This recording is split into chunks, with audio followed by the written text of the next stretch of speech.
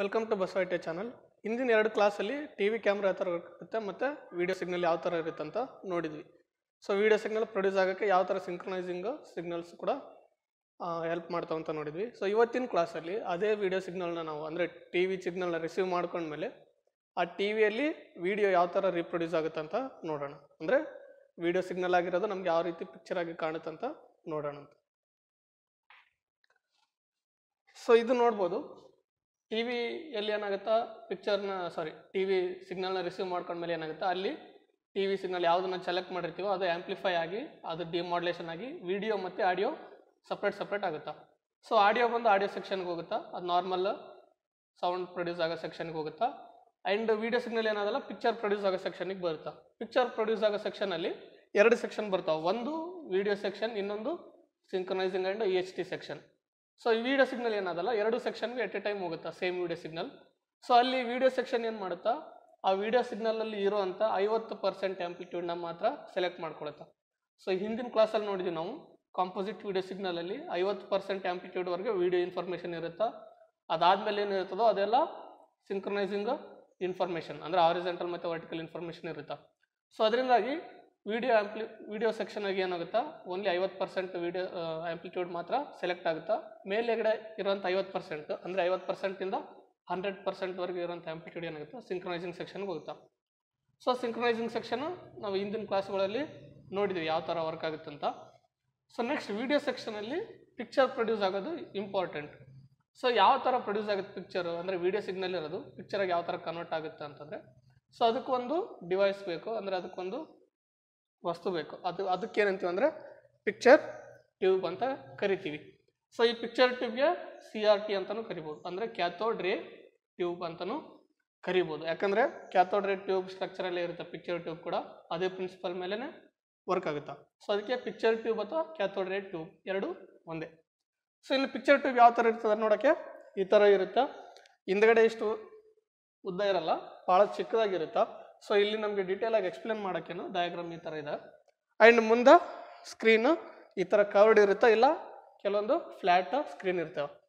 So ಇದರಲ್ಲಿ ಏನೇನು parts ಬರ್ತಾವೆ ಅಂದರೆ, ಇನ್ನು ಈ ಪಿಕ್ಚರ್ ಟ್ಯೂಬ್ ಎಲ್ಲ ಹೋಲ್ ಸೆಕ್ಷನ್ ಏನಿರುತ್ತೋ ಎಲ್ಲ ಗ್ಲಾಸ್ ಬಾಡಿಯಿಂದ ಮಾಡಿರ್ತಾರೆ, ಅಂದರೆ ಗ್ಲಾಸ್ ಎನ್ವೆಲಾಪಿಂದ ಮಾಡಿರ್ತಾರೆ, ಅದರಲ್ಲಿ ಏನೇನು ಬೇರೆ ಬೇರೆ ಪಾರ್ಟ್ಸ್ ಬರ್ತಾವೆ ಅಂದರೆ ಸೊ ಫಿಲಮೆಂಟ್ ಇರುತ್ತಾ cathode and control grid screen grid ಇದು ಕಂಟ್ರೋಲ್ ಗ್ರಿಡ್ ಇದು ಸ್ಕ್ರೀನ್ ಗ್ರಿಡ್ ಇದು ಫೋಕಸಿಂಗ್ ಆ್ಯನೋಡ್ ಇದು ಎಕ್ಸಲ್ರೇಟಿಂಗ್ ಆ್ಯನೋಡ್ ಇದು ವರ್ಟಿಕಲ್ ಡಿಫ್ಲೆಕ್ಷನ್ ಕಾಯಿಲ್ ಆ್ಯಂಡ್ ಇದು ಹಾರಿಜೆಂಟಲ್ ಡಿಫ್ಲೆಕ್ಷನ್ ಕಾಯಿಲ್ ಇದು ಮುಂದಗಡೆ ಕಾಣೋದು ಸ್ಕ್ರೀನ್ ಆಮೇಲೆ ಸ್ಕ್ರೀನ್ ಒಳಗಡೆ ಒಂದು ಲೇಯರ್ ಕಾಣುತ್ತಲ್ಲ ಅದು ಆ್ಯಕ್ವಡಾಗ್ ಆ್ಯಂಡ್ ಇದಿಷ್ಟು ಫುಲ್ ಏನದಲ್ಲ, ಎಲ್ಲ ಗ್ಲಾಸ್ ಎನ್ವೆಲಾಪಲ್ಲಿ ಬಿಲ್ಡ್ ಮಾಡಿರ್ತಾರೆ.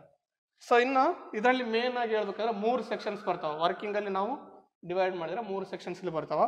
ಸೊ ಫಸ್ಟು ಫಿಲಾಮೆಂಟಿಂದ ಹಿಡಿದು ಆಕ್ಸಲರೇಟಿಂಗ್ ಆ್ಯನೋಡ್ವರೆಗೆ ಏನೈತಲ್ಲ ಇದಿಷ್ಟನ್ನು ನಾವು ಎಲೆಕ್ಟ್ರಾನ್ ಗನ್ ಅಂತ ಕರಿತೀವಿ. So electron gun. ಸೊ ಇಲ್ಲಿಂದ ಫಿಲಾಮೆಂಟಿಂದ ಹಿಡಿದು ಆಕ್ಸಲರೇಟಿಂಗ್ ನೋಡೋರು ಏನು ಕಾಣುತ್ತಲ್ಲ, ಇದಿಷ್ಟನ್ನು ಎಲೆಕ್ಟ್ರಾನ್ ಗನ್ ಸೆಕ್ಷನ್ ಅಂತ ಕರಿತೀವಿ. Next vertical deflection coil and horizontal deflection coil ಏನದಲ್ಲ, ಇದಕ್ಕೆ ಡಿಫ್ಲೆಕ್ಷನ್ ಸೆಕ್ಷನ್ ಅಂತ ಕರಿತೀವಿ. ಸೊ ಇಲ್ಲಿ ಏನಾಗುತ್ತೋ ಡಿಫ್ಲೆಕ್ಟಿಂಗ್ ಅಂದರೆ ಆರಿಜೆಂಟಲ್ ಮತ್ತು ವರ್ಟಿಕಲ್ ಇನ್ಫಾರ್ಮೇಷನ್ ಏನಿರುತ್ತೋ, ಅದು ಇಲ್ಲಿ ರಿಪ್ರೊಡ್ಯೂಸ್ ಆಗುತ್ತಾ? ಆಮೇಲೆ ನೆಕ್ಸ್ಟ್ ಮೂರನೇ ಪಾರ್ಟ್ ಏನದಲ್ಲ? ಸ್ಕ್ರೀನ್ ಸ್ಕ್ರೀನಲ್ಲಿ ನಮಗೆ ಪಿಕ್ಚರ್ ಪ್ರೊಡ್ಯೂಸ್ ಆಗುತ್ತೆ. ನಾವೇನು ಟಿ ವಿಯಲ್ಲಿ ನೋಡ್ತೀವಲ್ಲ, ಎದುರುಗಡೆ ಕುಂತು? ಸೊ ಆ ಸ್ಕ್ರೀನು ಇಲ್ಲಿ ಇರುತ್ತೆ ಮುಂದ್ಗಡೆ. ಸೊ ಇದ್ರ ಮೇಲೆ ನಮಗೆ ಪಿಕ್ಚರ್ ಪ್ರೊಡ್ಯೂಸ್ ಆಗುತ್ತೆ. ಸೊ ಇನ್ನು ಯಾವ್ಯಾವ ಥರ ವರ್ಕ್ ಆಗುತ್ತಾ? ಮೂರು ಸೆಕ್ಷನ್ ಅಂದರೆ. ಸೊ ಫಸ್ಟ್ ಸೆಕ್ಷನ್ ಬಂದು ಎಲೆಕ್ಟ್ರಾನ್ ಗನ್ ಸೊ ಎಲೆಕ್ಟ್ರಾನ್ ಗನ್ಗೆ ಏನು ಮಾಡ್ತಾರೆ? ಒಂದು ಫಿಲಮೆಂಟ್ ಇರುತ್ತಾ? ಸೊ ಈ ಫಿಲಮೆಂಟ್ಗೆ ಪವರ್ನ ಕೊಡ್ತಾರೆ ಎಲೆಕ್ಟ್ರಿಕ್ ಪವರ್ನ ಸೊ ಎಲೆಕ್ಟ್ರಿಕ್ ಪವರ್ ಕೊಟ್ಟಾಗ ಏನಾಗುತ್ತೆ? ಫಿಲಮೆಂಟು ಹೀಟ್ ಆಗೋಕ್ಕೆ ಸ್ಟಾರ್ಟ್ ಆಗುತ್ತೆ? ಹೀಟ್ ಆದಾಗ ಸ್ಟಾರ್ಟ್ ಆದಾಗ ಏನಾಗುತ್ತೆ? ಅದ್ರ ಸುತ್ತಗಡೆ ಕ್ಯಾಥೋಡ್ ಇರುತ್ತಾ? ಆ್ಯಂಡ್ ಈ ಕ್ಯಾಥೋಡ್ಗೆ ನೆಗೆಟಿವ್ ಸಪ್ಲೈನ ಕೊಟ್ಟಿರ್ತಾರೆ. ಸೊ ಇಲ್ಲಿ ಫಿಲಮೆಂಟ್ ಹೀಟ್ ಆದಾಗ ಏನಾಗುತ್ತೆ? ಕ್ಯಾಥೋಡ್ ಏನು ಮಾಡುತ್ತಾ? ನೆಗೆಟಿವ್ ಸಪ್ಲೈ ಕೊಟ್ಟಿರೋದ್ರಿಂದ ಎಲೆಕ್ಟ್ರಾನ್ಸ್ನ ಜನ್ರೇಟ್ ಮಾಡೋಕ್ಕೆ ಸ್ಟಾರ್ಟ್ ಮಾಡುತ್ತೆ? ಸೊ ಕ್ಯಾಥೋಡ್ ಏನು ಮಾಡುತ್ತಾ? ಎಲೆಕ್ಟ್ರಾನ್ಸ್ನ ಜನ್ರೇಟ್ ಮಾಡುತ್ತಾ? ಸೊ ಆ ಎಲೆಕ್ಟ್ರಾನ್ಸ್ ಏನಾಗುತ್ತೆ ಅಂದರೆ ಕ್ಯಾಥೋಡಿಂದ ಹೊರಗಡೆ ಡಿಸ್ಪರ್ಸ್ ಆಗೋಕ್ಕೆ ಸ್ಟಾರ್ಟ್ ಆಗ್ತಾವೆ. ಸೊ ಸಪೋಸ್ ಇದು ಕ್ಯಾಥೋಡ್ ಅಂದರೆ ಇದರಿಂದ ಎಲೆಕ್ಟ್ರಾನ್ಸು ಹೊರಗಡೆ ಯಾ- ಕಡೆ ಬೇಕು ಆ ಕಡೆ ಡಿಸ್ಪರ್ಸ್ ಆಗ್ತಿರ್ತಾವೆ ಸೊ ಈಗ ನಮ್ಗೇನು ಬೇಕು? ಆ ಎಲೆಕ್ಟ್ರಾನ್ಸ್ನೆಲ್ಲ ಒಂದು ಫೈನ್ ಎಲೆಕ್ಟ್ರಾನ್ ಬೀಮ್ ಆಗಿ ಮಾಡಬೇಕು. ಅಂದರೆ ಒಂದೇ ಕಡೆ, ಒಂದೇ ಪಾಯಿಂಟಲ್ಲಿ ಫೋಕಸ್ಡ್ ಆಗಿರೋಂಥ ಎಲೆಕ್ಟ್ರಾನ್ ಬೀಮ್ ಆಗಿ ತಯಾರು ಮಾಡಬೇಕು ಈ ಎಲೆಕ್ಟ್ರಾನ್ಸ್ನ ಸೊ ಅದರಿಂದಾಗಿ ನೆಕ್ಸ್ಟು ಈ ಎಲ್ಲ ಸೆಕ್ಷನ್ಸ್ ಬರ್ತಾವೆ. Control grid screen grid accelerating anode ಮತ್ತು ಫೋಕಸಿಂಗ್ ಆ್ಯನೋಡ್ಸ್ ಸೊ ಇಲ್ಲಿ ಫಸ್ಟ್ ಬರೋದೇ ಕಂಟ್ರೋಲ್ ಗ್ರಿಡ್ ಕ್ಯಾಥೋಡ್ ಆದಮೇಲೆ ಫಸ್ಟ್ ಬರೋದು ಕಂಟ್ರೋಲ್ ಗ್ರಿಡ್ ಇನ್ನು ಈ ಕಂಟ್ರೋಲ್ ಗ್ರಿಡ್ಗೆ ನಾವು ವಿಡಿಯೋ ಆ್ಯಂಪ್ಲಿಫೈರಿಂದ ಔಟ್ಪುಟ್ ಕೊಟ್ಟಿರ್ತೀವಿ. ಸೊ ವಿಡಿಯೋ ಆ್ಯಂಪ್ಲಿಫೈರ್ ಔಟ್ಪುಟ್ ಎಷ್ಟು ಇರುತ್ತೆ ಮೈನಸ್ ಸೆವೆಂಟಿ ಫೈವ್ ವೋಲ್ಟ್ ಇರುತ್ತೆ ವಿಡಿಯೋ ಆ್ಯಂಪ್ಲಿಫೈರಿಂದ ಔಟ್ಪುಟ್ ಬರೋ ವೋಲ್ಟೇಜ್ ಸೊ ಅದನ್ನೇ ಇಲ್ಲಿ ಕಂಟ್ರೋಲ್ ಗ್ರಿಡ್ಗೆ ಕೊಟ್ಟಿರ್ತೀವಿ ವಿಡಿಯೋ ಆ್ಯಂಪ್ಲಿಫೈರ್ ಔಟ್ಪುಟ್ನ ಸೊ ಈ ಕಂಟ್ರೋಲ್ ಗ್ರಿಡ್ ಏನದ? ನೆಗೆಟಿವ್ ಎನರ್ಜಿ ಆಗಿರುತ್ತೆ. ಅಂದರೆ ಮೈನಸ್ ಸೆವೆಂಟಿ ಫೈವ್ ವೋಲ್ಟ್ ಕೊಟ್ಟಿರ್ತೀವಲ್ಲ ಸೊ ಇದು ನೆಗೆಟಿವ್ ಎನರ್ಜೈಸ್ಡ್ ಆಗಿರುತ್ತೆ? ಆ್ಯಂಡ್ ಇಲ್ಲಿ ಎಲೆಕ್ಟ್ರಾನ್ಸ್ ಕೂಡ ನೆಗೆಟಿವ್ ಚಾರ್ಜ್ಡ್ ಆಗಿರ್ತಾವೆ. ಸೊ ಹಂಗಾದಾಗ ಏನಾಗುತ್ತೆ? ಎರಡು ನೆಗೆಟಿವಲ್ಲಿ ಇದ್ದಾಗ ಎಲೆಕ್ಟ್ರಾನ್ಸ್ ಏನಾಗ್ತಾವೆ? ಇಲ್ಲಿಂದ ಮುಂದ್ಗಡೆ ಎಸ್ಕೇಪ್ ಆಗಿ ಸ್ಟಾರ್ಟ್ ಆಗುತ್ತೆ? ಸೊ ಎಸ್ಕೇಪ್ ಆಗಬೇಕಾದ್ರೆ ಈ ಕಂಟ್ರೋಲ್ ಗ್ರಿಡ್ ಕೂಡ ನೆಗೆಟಿವ್ ಇರೋದ್ರಿಂದ ಅದರಿಂದ ದೂರ ಹೋಗೋಕ್ಕೆ ಸ್ಟಾರ್ಟ್ ಆಗ್ತಾವೆ ಎಲೆಕ್ಟ್ರಾನ್ಸ್ ಸೊ ದೂರ ಹೋಗ್ಬೇಕಾದ್ರೆ ನೆಕ್ಸ್ಟ್ ಬರೋದು ಸ್ಕ್ರೀನ್ ಸೊ ನೆಕ್ಸ್ಟ್ ಬರೋದು ಸ್ಕ್ರೀನ್ ಗ್ರಿಡ್ ಈ ಸ್ಕ್ರೀನ್ ಗ್ರಿಡ್ ಏನು ಮಾಡುತ್ತಾ? ಇಲ್ಲಿಂದ ಎಸ್ಕೇಪ್ ಆಗಿ ಬರುವಂಥ ಎಲೆಕ್ಟ್ರಾನ್ಸ್ಗೆ ಸ್ಪೀಡ್ನ ಕೊಡುತ್ತೆ. ಅಂದರೆ ಸ್ಪೀಡ್ ಆಗಿ ಒಂದು ಕಡೆ ಮೂವ್ ಆಗೋಕ್ಕೆ ಈ ಸ್ಕ್ರೀನ್ ಗ್ರಿಡ್ ಎಕ್ಸಲ್ರೇಟ್ ಮಾಡುತ್ತೆ. ಅಂದರೆ ಇದು ಪಾಸಿಟಿವ್ ಎನರ್ಜಿ ಕೊಟ್ಟಿರ್ತೀವಿ. ಸೊ ಈ ಪಾಸಿಟಿವ್ ಎನರ್ಜಿ ಏನು ಮಾಡುತ್ತೆ? ಇಲ್ಲಿ ಬರೋಂಥ ಎಲೆಕ್ಟ್ರಾನ್ಸ್ನ ಅಟ್ರಾಕ್ಟ್ ಮಾಡಿಕೊಂಡು ಅಂದರೆ ಸ್ಪೀಡಾಗಿ ಎಳ್ಕೊಂಡು ಅದನ್ನು ಮತ್ತೆ ಮುಂದ್ಗಡೆ ಪಾಸ್ ಮಾಡುತ್ತೆ. ಆ್ಯಂಡ್ ಇದು ನೆಕ್ಸ್ಟ್ ಬರೋದು ಫೋಕಸಿಂಗ್ ಆ್ಯನೋಡ್ ಆ್ಯಂಡ್ ಅದಾದಮೇಲೆ ಬರೋದು ಎಕ್ಸಲ್ರೇಟಿಂಗ್ ಆ್ಯನೋಡ್ ಸೊ ಇವೆರಡು ಕೂಡಿ ಏನು ಕೆಲಸ ಮಾಡ್ತಾವೆ ಅಂದರೆ ಇಲ್ಲಿ ಸ್ಪೀಡಾಗಿ ಬರ್ತಿರೋಂಥ ಎಲೆಕ್ಟ್ರಾನ್ಸ್ನ ಒಂದು ಫೈನ್ ಎಲೆಕ್ಟ್ರಾನ್ ಬೀಮ್ ಆಗಿ ತಯಾರು ಮಾಡ್ತಾವೆ. ಅಂದರೆ ಈ ಥರ ಬರ್ತಿರೋಂಥ ಎಲೆಕ್ಟ್ರಾನ್ಸ್ನೆಲ್ಲ ಏನು ಮಾಡ್ತಾವೆ ಸ್ಪೀಡಾಗಿ ಒಂದೇ ಲೈನಲ್ಲಿ ಟ್ರಾವೆಲ್ ಮಾಡೋಂಥ ಎಲೆಕ್ಟ್ರಾನ್ ಬೀಮ್ ಆಗಿ ಕನ್ವರ್ಟ್ ಮಾಡ್ತಾವೆ. ಸೊ ಫೋಕಸಿಂಗ್ ಆ್ಯನೋಡ್ ಏನು ಮಾಡ್ತಂದ್ರೆ ಎಲೆಕ್ಟ್ರಾನ್ ಬೀಮ್ ಎಷ್ಟು ಫೋಕಸ್ ಇರಬೇಕು ಅಂದರೆ ಪಿಕ್ಚರ್ ನಾವು ಪ್ರೊಡ್ಯೂಸ್ ಆಗ್ಬೇಕಾದ್ರೆ ಒಂದು ಫೋಕಸ್ಡ್ ಆಗಿರುತ್ತೆ, ಇನ್ನೊಂದು ಅನ್ಫೋಕಸ್ಡ್ ಆಗಿರುತ್ತೆ. ಫೋಕಸ್ ಇದ್ರೆ ಕ್ಲಿಯರ್ ಆಗಿರುತ್ತೆ ಪಿಕ್ಚರ್ ಫೋಕಸ್ ಕರೆಕ್ಟ್ ಇದ್ದಿಲ್ಲ ಅಂದರೆ ಬ್ಲರ್ ಆಗಿ ಕಾಣುತ್ತೆ. ಸೊ ಈ ಥರ ಎಲೆಕ್ಟ್ರಾನ್ ಬೀಮ್ ಕರೆಕ್ಟಾಗಿ ಫೋಕಸ್ ಮಾಡೋದಕ್ಕೆ ಎಷ್ಟು ಸ್ಪೀಡಲ್ಲಿ ಮೂವ್ ಆಗಬೇಕು ಅಷ್ಟು ಸ್ಪೀಡ್ನ ಫೋಕಸಿಂಗ್ ಏನಾದ್ರು ಪ್ರೊಡ್ಯೂಸ್ ಮಾಡುತ್ತಾ. ನೆಕ್ಸ್ಟ್ ಎಕ್ಸಲ್ರೇಟಿಂಗ್ ಆ್ಯನೋಡ್ ಏನು ಮಾಡುತ್ತಾ? ಅದನ್ನು ಇನ್ನೊಂದಿಷ್ಟು ಮುಂದಕ್ಕೆ ಹೋಗೋಕ್ಕೆ ಇನ್ನೊಂದಿಷ್ಟು ಪುಷ್ನ ಕೊಡುತ್ತೆ ಎಕ್ಸಲ್ರೇಟಿಂಗ್ ಆ್ಯನೋಡ್ ಸೊ ಈ ಥರ ಏನು ಮಾಡ್ತವೆ ಫೋಕಸಿಂಗ್ ಆ್ಯನೋಡ್ ಮತ್ತು ಎಕ್ಸಲ್ರೇಟಿಂಗ್ ಆ್ಯನೋಡ್ ಎರಡೂ ಕೂಡಿ ಇಲ್ಲಿ ಬರುವಂಥ ಎಲೆಕ್ಟ್ರಾನ್ಸ್ನ ಒಂದು ಫೈನ್ ಎಲೆಕ್ಟ್ರಾನ್ ಬೀಮ್ ಆಗಿ ತಯಾರು ಮಾಡ್ತಾವೆ. ಸೊ ಇದಿಷ್ಟೇನಿದಲ್ಲ ಎಲೆಕ್ಟ್ರಾನ್ ಗನ್ ಸೆಕ್ಷನ್ ಸೊ ಇನ್ನು ಈ ಎಲೆಕ್ಟ್ರಾನ್ ಗನ್ ಎಲ್ಲ ಒಂದು ಈ ಥರ ಸಿಲಿಂಡ್ರಿಕಲ್ ಶೇಪಲ್ಲಿ ಮಾಡಿರ್ತಾರ. ಓಕೆ ಇದರಲ್ಲಿ ಏನೇನು ಇರ್ತಾವೆ ಅಂದರೆ filament cathode control grid screen grid ride and accelerating anode ಮತ್ತು ಫೋಕಸಿಂಗ್ ಅರೌಂಡ್ ಎಲ್ಲೋಷ್ಟು ಇದರಲ್ಲಿ ಇರ್ತಾವ. ಸೊ ಎಲ್ಲ ಈ ಥರ ಸಿಲಿಂಡ್ರಿಕಲ್ ಶೇಪಲ್ಲಿ ಇರ್ತಾವೆ. ಆ್ಯಂಡ್ ಅವೆಲ್ ಎಲ್ಲದ್ರ ಮಧ್ಯೆ ಒಂದು ಸ್ಮಾಲ್ ಹೋಲ್ ಇರುತ್ತೆ. ಅಂದರೆ ನಮ್ಮ ಮುಂದ್ಗಡೆಯಿಂದ ನೋಡಿದರೆ ಈ ಥರ ಕಾಣುತ್ತಾ. ಇದ್ರ ಮುಂದ್ಗಡೆಯಿಂದ ನೋಡಿದರೆ. ಸೊ ಇದ್ರ ಮಧ್ಯದಲ್ಲಿ ಒಂದು ಸಣ್ಣ ಹೋಲ್ ಇರುತ್ತೆ ಈ ಥರ ಸೊ ಹೋಲ್ ಯಾಕೆ ಇರುತ್ತೆ ಅಂದರೆ ಈ ಎಲೆಕ್ಟ್ರಾನ್ ಬೀಮ್ ಅದರಿಂದ ಹೊರಗಡೆ ಬರೋಕ್ಕೆ. ಸೊ ಆ ಹೋಲಲ್ಲೇ ಎಲೆಕ್ಟ್ರಾನ್ ಬೀಮ್ ಎಲ್ಲ ಆಗಿ ಔಟ್ಪುಟ್ ಆಗಿ ಬರೋದ್ರಿಂದ ಒಂದೇ ಶಾರ್ಪಾಗಿ ಅಂದರೆ ಒಂದೇ ಲೈನಲ್ಲಿ ಪ್ರೊಡ್ಯೂಸ್ ಆಗ್ತಾ ಇರುತ್ತೆ ಎಲೆಕ್ಟ್ರಾನ್ ಬೀಮ್ ಸೊ ಇದಿಷ್ಟು ಫೋಕಸಿಂಗ್ ಆ್ಯನೋಡ್ ಸೆಕ್ಷನ್ ಇನ್ನು ಬೂಸ್ಟರ್ ಡಯೋಡಿಂದ ಅಂದರೆ ಈ ಸಿಂಕ್ರನೈಸಿಂಗ್ ಸೆಕ್ಷನಲ್ಲಿ synchronizing and E H T ಸೆಕ್ಷನಲ್ಲಿ booster ಡಯೋಡಿಂದ one kilo volt D C ಏನು ಪ್ರೊಡ್ಯೂಸ್ ಆಗುತ್ತಲ್ಲ ಸೊ ಒನ್ ಸಾವಿರ ವೋಲ್ಟ್ ಅಷ್ಟು ಡಿ ಸಿ ಅದನ್ನು ಈ ಸ್ಕ್ರೀನ್ ಗ್ರಿಡ್ಡು ಫೋಕಸಿಂಗ್ ಆ್ಯನೋಡ್ ಮತ್ತು ಎಕ್ಸಲ್ರೇಟಿಂಗ್ ಆ್ಯನೋಡ್ಗೆ ಕೊಟ್ಟಿರ್ತೀವಿ. ಯಾಕಂದರೆ ಇಲ್ಲಿ ಎಲೆಕ್ಟ್ರಾನ್ ಬೀಮ್ನ ಅಟ್ರ್ಯಾಕ್ಟ್ ಮಾಡಬೇಕು. ಎಲೆಕ್ಟ್ರಾನ್ ಬೀಮ್ ನೆಗೆಟಿವ್ ಚಾರ್ಜ್ ಇರುತ್ತಾ? ಅಂದರೆ ಎಲೆಕ್ಟ್ರಾನ್ಸ್ ನೆಗೆಟಿವ್ ಚಾರ್ಜ್ ಇರೋದ್ರಿಂದ ಎಲೆಕ್ಟ್ರಾನ್ ಬೀಮ್ ಕೂಡ ನೆಗೆಟಿವ್ ಚಾರ್ಜ್ ಇರುತ್ತಾ? ಆ್ಯಂಡ್ ಈ ಪಾಸಿಟಿವ್ ಹೈ ಪಾಸಿಟಿವ್ ವೋಲ್ಟೇಜಿಂದ ಏನು ಮಾಡ್ತೀವಿ ನಾವು ಎಲೆಕ್ಟ್ರಾನ್ನ ತೊಗೊಂಡು ಮುಂದಗಡೆ ಫೋಕಸ್ಡಾಗಿ ಪ್ರೊಡ್ಯೂಸ್ ಮಾಡ್ಬೋದು ಎಲೆಕ್ಟ್ರಾನ್ ಸರ್ ನೆಕ್ಸ್ಟ್ ಎರಡನೇ ಸೆಕ್ಷನ್ ಬರೋದು deflection section so deflection deflection ಸೆಕ್ಷನಲ್ಲಿ ಏನಿರ್ತಾವೆ ಅಂದರೆ ಎರಡು ಕಾಯಿಲ್ಸ್ ಇರ್ತಾವೆ. ಒಂದು ವರ್ಟಿಕಲ್ ಡಿಫ್ಲೆಕ್ಷನ್ ಕಾಯಿಲ್ ಇನ್ನೊಂದು ಹಾರಿಸಂಟಲ್ ಡಿಫ್ಲೆಕ್ಷನ್ ಕಾಯಿಲ್ ಸೊ ಇವೆರಡು ಏನಿದಾವಲ್ಲ? ವರ್ಟಿಕಲ್ ಡಿಫ್ಲೆಕ್ಷನ್ ಕಾಯಿಲ್ ಕನೆಕ್ಷನ್ ಇವೆರಡು ಏನಿದಾವಲ್ಲ? Horizontal deflection coil connection so ಇವೆರಡು ಈ ಫಸ್ಟ್ ವರ್ಟಿಕಲ್ ಡಿಫ್ಲೆಕ್ಷನ್ ಕಾಯಿಲ್ ಏನು ಮಾಡ್ತಾವ್ರೆ? ಈ ಎಲೆಕ್ಟ್ರಾನ್ ಬೀಮು ಸ್ಟ್ರೇಟ್ ಆಗಿ ಹೋಗ್ತಿರುತ್ತಲ್ಲ ಅದನ್ನು ಮೇಲೆ ಮತ್ತೆ ಕೆಳಗಡೆ ಮೂವ್ ಮಾಡೋದಕ್ಕೆ ಹೆಲ್ಪ್ ಮಾಡ್ತಾವೆ ವರ್ಟಿಕಲ್ ಡಿಫ್ಲೆಕ್ಷನ್ ಕಾಯಿಲ್ ಸಪೋಸ್ ಈ ಥರ ಸ್ಕ್ರೀನ್ ಇತ್ತು ಅಂದರೆ ಸೊ ಇನ್ ಕೇಸ್ ಡಿಫ್ಲೆಕ್ಷನ್ ಕಾಯಿಲ್ಗೆ ಯಾವುದೇ ರೀತಿ ಪವರ್ ಕೊಟ್ಟಿಲ್ಲ ಅಂದ್ಕೊಳ್ರಿ ನಾವು ಎರಡು ಕಾಯಿಲ್ಸ್ಗೆ ಯಾವುದೇ ರೀತಿ ಎನರ್ಜಿ ಕೊಟ್ಟಿಲ್ಲ.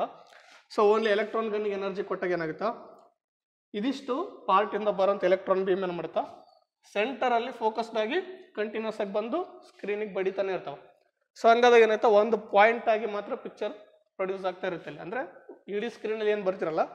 ಸೆಂಟ್ರಲ್ಲಿ ಒಂದು ವೈಟ್ ಕಲರ್ ಪಾಯಿಂಟ್ ಕಾಣುತ್ತೆ ನಮಗಷ್ಟೇ ಸೊ ಅದಾದಮೇಲೆ ಈ ವರ್ಟಿಕಲ್ ಡಿಫ್ಲೆಕ್ಷನ್ ಕಾಯಿಲ್ ಎನರ್ಜಿ ಕೊಟ್ಟಾಗ ಏನಾಗುತ್ತೆ? ಈ ಎಲೆಕ್ಟ್ರಾನ್ ಬೀಮ್ ಏನದಲ್ಲ? ಮೇಲೆ ಮತ್ತೆ ಕೆಳಗಡೆ ಮೂವ್ ಮಾಡೋಕ್ಕೆ ಸ್ಟಾರ್ಟ್ ಆಗುತ್ತೆ. ಹೆಂಗಂದ್ರೆ ಸೊ ಇದಕ್ಕೆ ನಾವು ಪವರ್ ಕೊಟ್ಟಾಗ ಏನಾಗುತ್ತಾ? ಸಪೋಸ್ ಪ್ರೈ ಫಾರ್ವರ್ಡ್ ಬ್ಯಾಸಲ್ಲಿ ಕೊಟ್ಟಾಗ ಏನಾಗುತ್ತೆ? ಇಲ್ಲಿ ಪಾಸಿಟಿವ್ ಕೆಳಗಡೆ ನೆಗೆಟಿವ್ ಕೊಟ್ಟಿವಿ ಅನ್ಕೊಡ್ರಿ ಅಂದರೆ ಇಲ್ಲಿ ಪ್ಲಸ್ ಇಲ್ಲಿ ಮೈನಸ್ ಕೊಟ್ಟಾಗ ಏನಾಗುತ್ತಾ? ಸೊ ಮೇಲೆಗಡೆ ಇರೋಂಥ ಕಾಯಿಲ್ ಪಾಸಿಟಿವ್ ಆಗಿರುತ್ತೆ? ಕೆಳಗಡೆ ಇರೋಂಥ ಕಾಯಿಲ್ ನೆಗೆಟಿವ್ ಆಗಿರುತ್ತೆ? ಸೊ ಹಂಗಾದಾಗ ಏನಾಗುತ್ತಾ? ಇಲ್ಲಿ ಪಾಸಿಟಿವ್ ವೋಲ್ಟೇಜ್ ಇರೋದ್ರಿಂದ ಏನಾಗುತ್ತೆ? ಎಲೆಕ್ಟ್ರಾನ್ ಬೀಮ್ ಮೇಲ್ಗಡೆ ಅಟ್ರಾಕ್ಟ್ ಆಗಿ ಸ್ಟಾರ್ಟ್ ಆಗುತ್ತೆ. ಅಂದರೆ ಎಲೆಕ್ಟ್ರಾನ್ ಬೀಮ್ ಇಲ್ಲಿರೋದು ಮೇಲ್ಗಡೆ ಮೂವ್ ಆಗುತ್ತಾ? ಅದೇ ನಾವು ಇದನ್ನು ಉಲ್ಟಾ ಮಾಡಿದಾಗ ರಿವರ್ಸ್ ಕನೆಕ್ಷನ್ ಮಾಡಿದಾಗ ಇದಕ್ಕೆ ನೆಗೆಟಿವ್ ಇದಕ್ಕೆ ಪಾಸಿಟಿವ್ ಕೊಟ್ಟಾಗ ಇದು ಮೇಲೆ ನೆಗೆಟಿವ್ ಆಗುತ್ತೆ? ಕೆಳಗಡೆ ಪಾಸಿಟಿವ್ ಆಗುತ್ತೆ. ಸೊ ಆ ಟೈಮಿಗೆ ಏನಾಗುತ್ತೆ? ಮೇಲೆ ಇರೋ ಎಲೆಕ್ಟ್ರಾನ್ ಬೀಮು ಕೆಳಗಡೆ ಬರೋಕ್ಕೆ ಸ್ಟಾರ್ಟ್ ಆಗುತ್ತೆ. ಸೊ ಅದು ವರ್ಟಿಕಲ್ ಡಿಫ್ಲೆಕ್ಷನ್ ಕಾಯಿಲ್ ಕೆಲಸ. ಏನು ಮಾಡುತ್ತೆ? ಎಲೆಕ್ಟ್ರಾನ್ ಬೀಮ್ನ ಮೇಲಿಂದ ಕೆಳಗೆ ಮತ್ತು ಕೆಳಗಿಂದ ಮೇಲೆ ಮೂವ್ ಮಾಡೋಕ್ಕೆ ಯೂಸ್ ಆಗುತ್ತೆ. ನೆಕ್ಸ್ಟ್ ಎರಡನೇದು ಹಾರಿಜೆಂಟಲ್ ಡಿಫ್ಲೆಕ್ಷನ್ ಕಾಯಿಲ್ ಸೊ ಇದು ಎರಡನೇ ಕಾಯಿಲ್ ಡಿಫ್ಲೆಕ್ಷನ್ ಸೆಕ್ಷನಲ್ಲಿ ಎರಡನೇ coil horizontal deflection section so ಇದು ಏನು ಮಾಡುತ್ತೆ ಅಂದರೆ ಸೇಮ್ ಅದೇ ಎಲೆಕ್ಟ್ರಾನ್ ಬೀಮ್ನ ವರ್ಟಿಕಲ್ ಡಿಫ್ಲೆಕ್ಷನ್ ಕಾಯಿಲ್ ಯಾವ ರೀತಿ ಮೇಲೆ, ಕೆಳಗೆ ಕೆಳಗೆ ಮೇಲೆ ಮೂವ್ ಮಾಡೋಕ್ಕೆ ಯೂಸ್ ಆಗ್ತಿತ್ತು, ಈ ಡಿ ಹಾರಿಜೆಂಟಲ್ ಡಿಫ್ಲೆಕ್ಷನ್ ಕಾಯಿಲ್ ಏನು ಮಾಡುತ್ತಾ, ಅದೇ ಎಲೆಕ್ಟ್ರಾನ್ ಬಿಮ್ನ ಲೆಫ್ಟಿಂದ ರೈಟ್ಗೆ ಮತ್ತು ರೈಟಿಂದ ಲೆಫ್ಟಿಗೆ ಮೂವ್ ಮಾಡೋಕ್ಕೆ ಯೂಸ್ಫುಲ್ ಆಗುತ್ತೆ. ಸೊ ಲೆಫ್ಟಿಂದ ರೈಟ್ಗೆ ರೈಟಿಂದ ಲೆಫ್ಟಿಗೆ ಹಾಕ್ಬೇಕಂದ್ರೆ only vertical deflection coil information ಇದ್ದರೆ ಹಿಂಗಷ್ಟೇ ಮೂವ್ ಆಗುತ್ತಾ ಎಲೆಕ್ಟ್ರಾನ್ ಬೀಮ್ ಅಂದರೆ ಮೇಲಿಂದ ಕೆಳಗೆ, ಕೆಳಗಿನ ಮೇಲೆ. ಸೊ ಇಲ್ಲಿ ಎಲೆಕ್ಟ್ರಾನ್ ಬೀಮ್ ನಮ್ಗೆ ಏನಾಗಬೇಕು ಇಡೀ ಸ್ಕ್ರೀನಲ್ಲಿ ಮೂವ್ ಆಗಬೇಕು. ಸೊ ಡಿ ಸ್ಕ್ರೀನ್ ಮೂವ್ ಆದ ಮೂವ್ ಆಗಬೇಕಾದ್ರೆ ಏನಾಗುತ್ತೆ? ಇಲ್ಲಿ ಆರಿಜೆಂಟಲ್ ಡಿಫ್ಲೆಕ್ಷನ್ ಕಾಯಿಲ್ ಕೆಲಸ ಮಾಡುತ್ತೆ. ಸೊ ಆರಿಜೆಂಟಲ್ ಡಿಫ್ಲೆಕ್ಷನ್ ಕಾಯಿಲ್ ಲೆಫ್ಟಿಂದ ರೈಟ್ಗೆ ರೈಟಿಂದ ಲೆಫ್ಟ್ಗೆ ಮೂವ್ ಮಾಡೋಕ್ಕೆ ಯೂಸ್ ಆಗುತ್ತಾ? ಆ್ಯಂಡ್ ವರ್ಟಿಕಲ್ ಡಿಫ್ಲೆಕ್ಷನ್ ಕಾಯಿಲ್ ಕೆಳಗಿಂದ ಮೇಲೆ, ಮೇಲಿಂದ ಕೆಳಗೆ ಮೂವ್ ಮಾಡೋಕ್ಕೆ ಯೂಸ್ ಆಗುತ್ತೆ. ಸೊ ಹಿಂಗಾದಾಗ ಏನಾಗುತ್ತಾ? ಒಂದು ಎಲೆಕ್ಟ್ರಾನ್ ಬೀಮ್ ಕಂಪ್ಲೀಟ್ ಆಗಿ ಸ್ಕ್ರೀನ್ ಮೇಲೆ ಈ ಥರ ಮೂವ್ ಹಾಕುವಂಥ ಪಿಕ್ಚರ್ನ ಪ್ರೊಡ್ಯೂಸ್ ಮಾಡ್ಕೊಂತ ಹೋಗುತ್ತೆ? ಸ್ಕ್ರೀನ್ ಮೇಲೆ. ಸೊ ಇದು ಎರಡನೇ ಸೆಕ್ಷನ್ ವರ್ಟಿಕಲ್ ಡಿಫ್ಲೆಕ್ಷನ್ ಕಾಯಿಲ್ ಮತ್ತು ಆರ್ಜೆಂಟಲ್ ಡಿಫ್ಲೆಕ್ಷನ್ ಕಾಯಿಲ್ ಇವಕ್ಕೆ ಎಲ್ಲಿಂದ ಇನ್ಪುಟ್ ಬರ್ತಾವೆ ಅಂದರೆ ವರ್ಟಿಕಲ್ ಡಿಫ್ಲೆಕ್ಷನ್ ಕಾಯಿಲ್ಗೆ ವರ್ಟಿಕಲ್ ಇಂದ ಬಂದಿರುತ್ತಾ ಆರಿಜೆಂಟಲ್ ಡಿಫ್ಲೆಕ್ಷನ್ ಕಾಯಿಲ್ಗೆ ಆರ್ಜೆಂಟಲ್ ಇಂದ ಬಂದಿರುತ್ತಾ. ಸೊ ಅವೆರಡು ಏನು ಆಂಪ್ಲಿಫೈಯರ್ಸ್ ಅಂತ ಹಿಂದಿನ ವಿಡಿಯೋ ಸಿಂಕ್ರನಸ್ ಸೆಕ್ಷನಲ್ಲಿ ನೋಡಿದ್ವಿ. Synchronous section block diagram explain ಮಾಡಬೇಕಾದ್ರೆ ನೋಡಿದ್ವಿ. ಸೊ ಆ ವಿಡಿಯೋ ನೋಡಿ ತಿಳ್ಕೊಬೋದು. ಆ ವಿಡಿಯೋ ಲಿಂಕ್ ಡಿಸ್ಕ್ರಿಪ್ಷನ್ ಹಾಕಿರ್ತೀನಿ ನಾನು. ನೆಕ್ಸ್ಟ್ ಮೂರನೇ ಲಾಸ್ಟ್ ಸೆಕ್ಷನ್ ಅಂದರೆ ಸ್ಕ್ರೀನ್ ಸೊ ಸ್ಕ್ರೀನ್ ಏನಂದರೆ ನಾವು ಪಿಕ್ಚರ್ ನೋಡ್ತೀವಲ್ಲ ಎದುರುಗಡೆ ಕುಂತ್ಕೊಂಡು, ನಮ್ಗೇನು ಗ್ಲಾಸ್ ಕಾಣ ಸ್ಕ್ರೀನ್ ಕಾಣ ಕಾಣುತ್ತಲ್ಲ ಗ್ಲಾಸ್ ಸೊ ಅದು ಈ ಪಾರ್ಟ್ ಮುಂದ್ಗಡೆ ಇರೋದು. ಸೊ ಅದು ಯಾವ ರೀತಿ ಮಾಡಿರ್ತಾರೆ ಅಂದ್ರೆ ಸ್ಕ್ರೀನ್ ಸೊ ಇಲ್ಲಿಂದ ಇಲ್ಲಿಗೆ ಸ್ಕ್ರೀನ್ ಇರುತ್ತಾ? ಆ ಸ್ಕ್ರೀನ್ ಸುತ್ತ ತುಂಬ ಏನು ಮಾಡಿರ್ತಾರೆ ಅಂದರೆ, ಈ ಥರ ಫ್ರೇಮ್ ಇರುತ್ತಲ್ಲ ಮುಂದ್ಗಡೆ ಸ್ಕ್ರೀನ್ದು ಒಳಗೆ ಏನು ಮಾಡಿ, ಒಳಗಡೆ ಪಾರ್ಟಿಗೆ ಏನು ಮಾಡಿರ್ತಾರೆ ಅಂದರೆ, ಎಲ್ಲನ ಫಾಸ್ಫರಿಂದ ಕೋಟಿಂಗ್ ಮಾಡಿರ್ತಾರೆ. ಅಂದರೆ ಫಾಸ್ಫರ್ ಬಳಸಿ ಕೋಟಿಂಗ್ ಮಾಡ್ತಾರೆ. ಸೊ ಫಾಸ್ಫರ್ ಏನಾಗುತ್ತೆ ಅಂದರೆ ಹೀಟ್ ಮಾಡಿದಾಗ ಅದರಿಂದ ಲೈಟ್ ಬರುತ್ತೆ. ಸೊ ಹೀಟ್ ಆದಾಗ ಲೈಟ್ ಬರುತ್ತಾ, ಅದರಿಂದಾಗಿ ಫಾಸ್ಫರ್ ಬಳಸಿರ್ತಾರೆ. ಎದಕ್ಕೆ ಬಳಸಿರ್ತಾರೆ ಅಂದರೆ ಒಂದು ಎಲೆಕ್ಟ್ರಾನ್ ಬೀಮ್ ಏನಿರುತ್ತೆ, ಅದು ಬಂದು ಫಾಸ್ಫರಿಗೆ ಬಡ್ದಾಗ ಏನಾಗುತ್ತೆ, ಫಾಸ್ಫರ್ ಹೀಟ್ ಆಗಿ ಸ್ಟಾರ್ಟ್ ಆಗುತ್ತಾ ಆ್ಯಂಡ್ ಆ ಹೀಟ್ ಆಗಿರೋ ಫಾಸ್ಫರ್ ಲೈಟ್ ಆಗಿ ಕನ್ವರ್ಟ್ ಆಗುತ್ತಾ. ಸೊ ಅದೇ ಲೈಟ್ ನಮಗೆ ಸ್ಕ್ರೀನ್ ಮೇಲೆ ಪಿಕ್ಚರ್ ಆಗಿ ಕಾಣುತ್ತಾ. ಸೊ ಅದಕ್ಕೆ ಈ ಫಾಸ್ಫರ್ನ ಯೂಸ್ ಮಾಡ್ತಾರೆ. ಸೊ ಈ ಥರ ಏನಾಗುತ್ತೆ ಸ್ಕ್ರೀನ್ ಮೇಲೆ ಪಿಕ್ಚರ್ ಆಗಿ ಪ್ರೊಡ್ಯೂಸ್ ಆಗುತ್ತೆ ಒಂದು ವಿಡಿಯೋ ಸಿಗ್ನಲ್ ಇನ್ನು ಈ ಸ್ಕ್ರೀನ್ಕಿನ ಮುಂಚೆ ಇನ್ನೊಂದು ಲೇಯರ್ ಇರುತ್ತಾ, ಅದಕ್ಕೆ ನಾವು ಆಕ್ವಾಡಾಗ್ ಅಂತ ಕರಿತೀವಿ ಅಥವಾ ಕಲೆಕ್ಟರ್ ರಿಂಗ್ ಅಂತಲೂ ಕರಿತೀವಿ.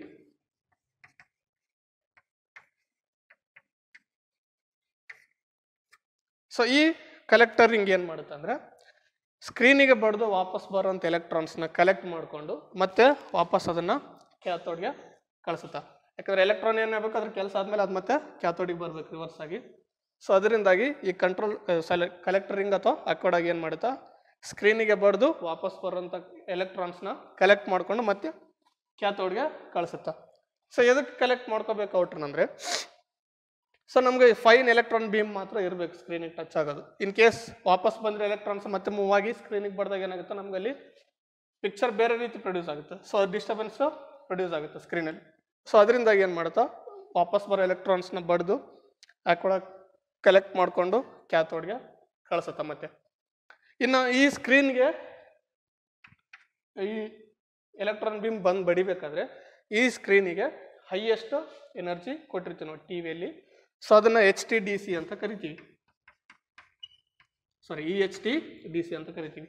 ಇ ಎಚ್ ಟಿ ಅಂದರೆ extra high tension D C volt so ಇದಕ್ಕೆ ಏನು ಮಾಡಿರ್ತೀವಿ ನಾವು? ಲೆವೆನ್ ಕಿಲೋ ವೋಲ್ಟಿಂದ ಹಿಡಿದು up to twenty four kilo ವೋಲ್ಟ್ವರೆಗೆ ಸಪ್ಲೈನ ಕೊಟ್ಟಿರ್ತೀವಿ. ಅದು ಪಿಕ್ಚರ್ ಟ್ಯೂಬ್ ಅಂದರೆ ಸ್ಕ್ರೀನ್ ಯಾವ ಸೈಜ್ ಇದೆ ಅದ್ರ ಮೇಲೆ ಡಿಪೆಂಡ್ ಆಗಿರುತ್ತೋ ಸ್ಕ್ರೀನ್ ಸೈಜ್ ದೊಡ್ಡದಾದಂಗೆಲ್ಲ ಈ ವೋಲ್ಟೇಜು ಜಾಸ್ತಿ ಆಗ್ಕೊಂತ ಹೋಗುತ್ತೆ. ಸೊ ಇಷ್ಟು ಹೈ ವೋಲ್ಟೇಜ್ ಪಾಸಿಟಿವ್ ಕೊಟ್ಟಾಗ ಏನಾಗುತ್ತೆ? ಎಲೆಕ್ಟ್ರಾನ್ ಬೀಮ್ ಇವೆಲ್ಲದರಿಂದ ಎಸ್ಕೇಪ್ ಆಗಿ ಸ್ಕ್ರೀನ್ ಕಡೆ ಫೋಕಸ್ಡ್ ಆಗಿ ಮೂವ್ ಹಾಕೊಂಡು ಬರುತ್ತೆ. ಸೊ ಈ ಪಾಯಿಂಟಲ್ಲಿ ಅಥವಾ ಈ ಪಾಯಿಂಟಲ್ಲಿ ನಾವು ಈ eleven kilo ವೋಲ್ಟಿಂದ twenty four kilo volt supply ಏನದಲ್ಲ ಕೊಟ್ಟಿರ್ತೀವಿ. ಸೊ ಇನ್ನು ಇಷ್ಟು ಹೈ ವೋಲ್ಟೇಜ್ ಜನರೇಟ್ ಆಗೋದು line output ಟ್ರಾನ್ಸ್ಫಾರ್ಮರಿಂದ synchronous and E S T section ಏನು ಇರುತ್ತಲ್ಲ, ಅಲ್ಲಿ E S T D C produce ಆಗುತ್ತೆ ಲೈನ್ ಔಟ್ಪುಟ್ ಟ್ರಾನ್ಸ್ಫಾರ್ಮರಿಂದ ಸೊ ಅದನ್ನು ನಾವು ಇಲ್ಲಿಗೆ ತಂದು ಕನೆಕ್ಟ್ ಮಾಡ್ತೀವಿ ಹೈಯೆಸ್ಟ್ ಡಿ ಸಿನ ಸ್ಕ್ರೀನ್ಗೆ ಸೊ ಇದಿಷ್ಟು ಪಿಕ್ಚರ್ ಟ್ಯೂಬು ಯಾವ ಥರ ಕೆಲಸ ಮಾಡುತ್ತಂತ ನೋಡಿದ್ವಿ.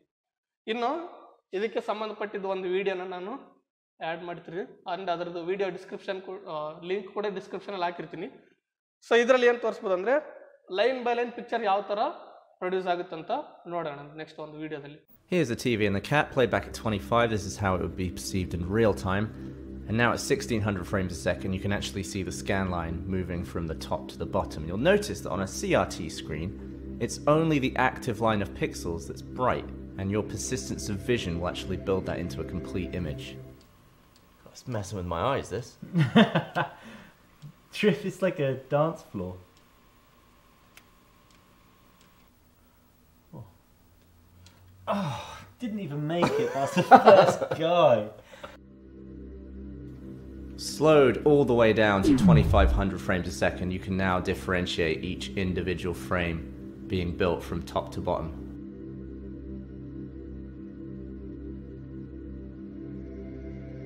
It takes an extremely fast camera to see that each frame is built line by line from top to bottom. But it takes an even faster camera to see that each line is drawn from left to right. Slowed down to 28,500 frames a second, we're now seeing glimpses of that, but we do need to go even slower. This is now 118,000 frames a second. I'm going to put the stats up for you here so you can see the actual amount of time that it took. And you can see now that the line is being drawn from left to right on the screen. Now at 146,000 frames a second. To gain perspective on just how slow this actually is, you can see the exact time I shot this.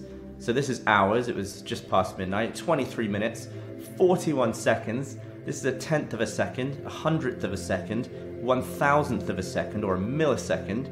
And then over here you've got a ten thousandth of a second, a hundred thousandth of a second, and this unit here is the millionth of a second, or a microsecond. We are now at 380,000 frames a second as our recording frame rate. That is the highest frame rate we've ever shot so far on this channel. And using this information, here's a little bonus fact. A CRT screen can draw Mario's moustache in less than a 380,000th of a second. That is some seriously fast facial hair. And if you're wondering why this footage looks extremely mucky and blurry, it's because the resolution is only 256 by 128. So ಇದಿಷ್ಟು ಒಂದು picture tube ಯಾವ ಥರ work ಆಗುತ್ತೆ ಅಂತ video ಇನ್ನು ನಾವು ಈ ಇದಕ್ಕಿಂತ ಮುಂಚೆ ಟಿ ವಿ ರಿಸೀವರ್ ಆಯಿತು ಟ್ರಾನ್ಸ್ಮಿಟರ್ ಆಯಿತು ಎಲ್ಲ ನೋಡಿದವಲ್ಲ ಅದೆಲ್ಲ ಬಂದು black and white T V picture ಬಗ್ಗೆನೇ ಅಥವಾ black and white T V ಬಗ್ಗೆನೇ ಈ ಪಿಕ್ಚರ್ ಟ್ಯೂಬ್ ಕೂಡ black and white picture tube ಇದಕ್ಕೆ ಮೋನೋಕ್ರೋಮ್ ಪಿಕ್ಚರ್ ಟ್ಯೂಬ್ ಅಂತ ಹೆಸರು ಇನ್ನು ಮುಂದಿನ ವಿಡಿಯೋಗಳಲ್ಲಿ ಕಲರ್ ಟಿ ವಿ ಅಂದ್ರೆ ಕಲರ್ ಸಿಗ್ನಲ್ ಯಾವ ಥರ ಪ್ರೊಡ್ಯೂಸ್ ಆಗುತ್ತೆ ಕಲರ್ ಟಿ ವಿ ಕ್ಯಾಮ್ರಾ ಯಾವ ಥರ ಎಲ್ಲ ಕೆಲಸ ಮಾಡುತ್ತೆ ಅಂತ ನೋಡೋಣ ಈ ವಿಡಿಯೋನ ಲೈಕ್ ಮಾಡಿ ಶೇರ್ ಮಾಡಿ ಮತ್ತು ಬಸವೈಟೆ ಚಾನಲ್ನ ಸಬ್ಸ್ಕ್ರೈಬ್ ಮಾಡಿ.